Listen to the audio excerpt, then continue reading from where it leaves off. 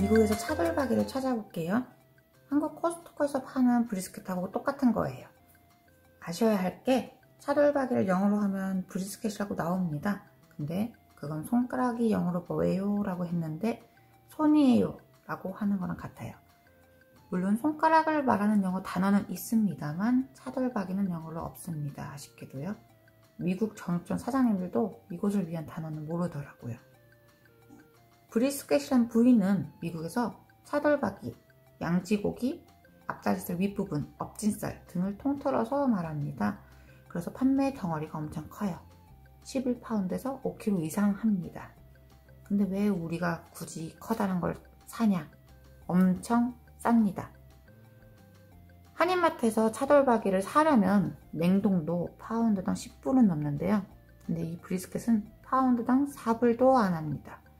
한 덩어리에 25불에서 50불 정도라고 생각하시면 되고요. 제가 산 것도 코스트코에서 3.49불 파운드당 한 덩어리에 41.74불로 덩어리 가격은 세지만 파운드 가격은 무척 쌉니다. 싸서 양지는 국 끓여 먹고 차돌은 썰어 먹고 앞다리 붙어 있으면 장조림 해 먹으면 되니까 양이 많지만 비계만 빼고 모든 부위를 유용하게 쓸 수 있는 고기예요. 고기는 이렇게 마트에서 진공 포장된 커다란 덩어리로 팝니다. 코스트코나 샘스에서 주로 볼 수 있고요. 브리스켓은 한쪽은 얇고 한쪽은 얇고 한쪽은 두껍게 되어 있는데 이 거품 같은 비계 부분이 두꺼운 걸 고르세요. 여기가 차돌박이가 있는 부분이에요. 간혹 작은 덩어리만 판다. 그러면 flat brisket이라고 양지 부분만 있거나 corned brisket이라는 염장된 고기일 수도 있으니까 꼭 whole brisket 확인하고 구매하세요. 만약에 꼭 차돌박이 부위를 설명하고 싶다, 말하고 싶다 하면은 whole brisket에서 flat brisket을 제외한 부분이라고 말하면 됩니다. 여기를 의미하는 거거든요. 부위별로 써는 것은 단순하게 알려드릴게요. 비계 제거는 꼭 하고 드세요. 브리스켓을 크게 세 부위로만 나눌 겁니다. 얇은 쪽이 양지, 중간이 차돌, 두꺼운 쪽 끝이 앞다리살이라고 생각하시면 됩니다.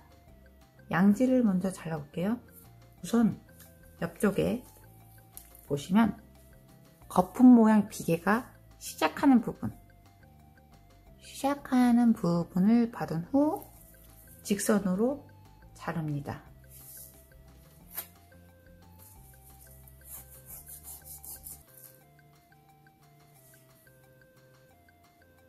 이 부위가 양지 부위고요. 이거는 국거리에 씁니다.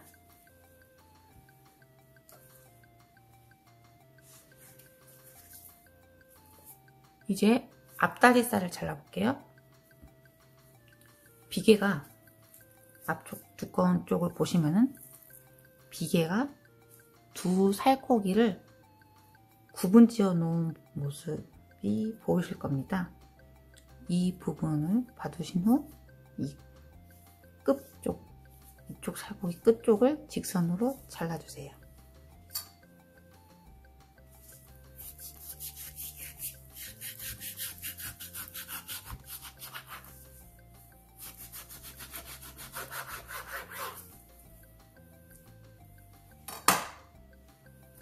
그래서 이 부분이 앞다리살이라고 생각하시면 되고요. 이거는 결대로 잘 찢어져서 장조림하기에 좋습니다. 이제 남은 이 부위가 차돌 부분입니다. 차돌은 되고 이렇게 썰어서 드시면 되는데 이대로는 크니까 썰어서 썰어주세요. 얇게 써는데 절대 생고기로는 차돌박이 같이 얇게 안 썰립니다. 냉동칸에 살짝 얼려서 쌈무 마냥 정성껏 포를 뜨시거나 장비 있으시면 슬라이서나 작두칼로 썰어주세요. 장비를 추천드려요. 자른 단면을 보여드릴게요.